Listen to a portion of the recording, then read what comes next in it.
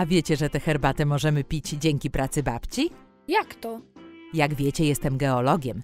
Dawno temu z kolegami odkryliśmy złoże gazu ziemnego, z którego do dzisiaj korzystamy w naszych domach. O! Tak, tak, moi mili. Złoże gazu i to nie jedno. Babciu, opowiedz! Po skończeniu studiów wyjechałam na Podkarpacie do pierwszej pracy. Polecono nam znaleźć nowe złoże gazu ziemnego. To tam, gdzie pan Łukasiewicz odkrył ropę naftową? Tak, wciąż tam się ją wydobywa. Odkryto również złoża gazu ziemnego. Jak się odkrywa złoże? Żeby je znaleźć, potrzebna jest praca wielu specjalistów.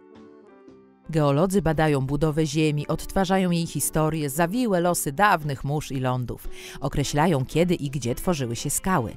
Oceniają, jak dużo może być gazu i ropy pod ziemią i gdzie warto ich szukać.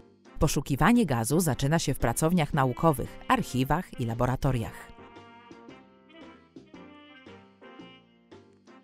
W archiwum są zgromadzone mapy geologiczne i inne materiały z wcześniejszych prac geologicznych.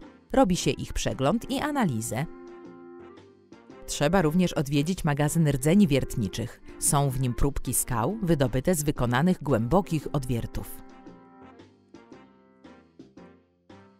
Jednak potrzebne nam są dane bardziej szczegółowe. Trzeba wiercić. Aby wybrać najlepsze miejsce do wiercenia, trzeba wykonać badania geofizyczne, najczęściej sejsmiczne. Wywołuje się sztuczne drgania, takie jak podczas trzęsień ziemi, ale znacznie słabsze. Drgania wędrują w głąb ziemi, odbijają się od warstw skalnych i wracają na powierzchnię, gdzie je rejestrujemy i analizujemy. To coś jak prześwietlenie albo USG?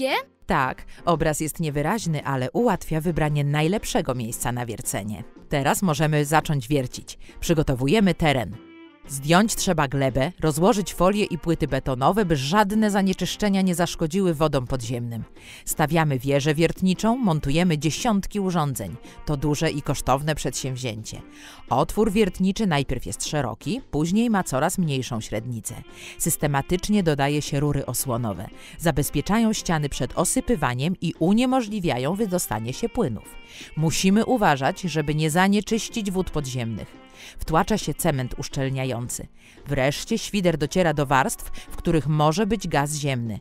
Tu trzeba uważać. Gaz jest palny, w złożu panuje ogromne ciśnienie. Przed niespodziankami zabezpiecza głowica przeciwwybuchowa, która w mgnieniu oka może zamknąć wylot rur. Był tam gaz? Mieliśmy szczęście, ale to nie tylko nasza zasługa. Pomogła wiedza zgromadzona przez pokolenia geologów. Ja i moi koledzy odkryliśmy później jeszcze wiele złóż gazu. Teraz moi młodsi koledzy szukają nowych źródeł. Pewnie w łupkach. Wydobywa się go już w Ameryce. Być może niedługo także w Polsce. Gaz uwięziony w łupkach nie wydostaje się tak łatwo jak ze skał porowatych. Dlatego trzeba wykonać wiercenie pionowe, a potem jeszcze odcinek poziomy, aby ująć jak największy obszar złoża. Potem wykonuje się szczelinowanie hydrauliczne.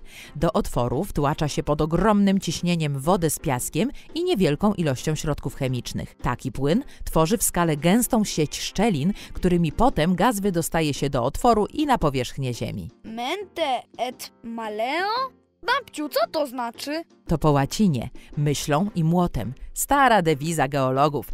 Mówi, że nie jest to tylko wiedza teoretyczna, ale praktyczna. Geolodzy pracują dla wszystkich, by nie zabrakło nam surowców mineralnych.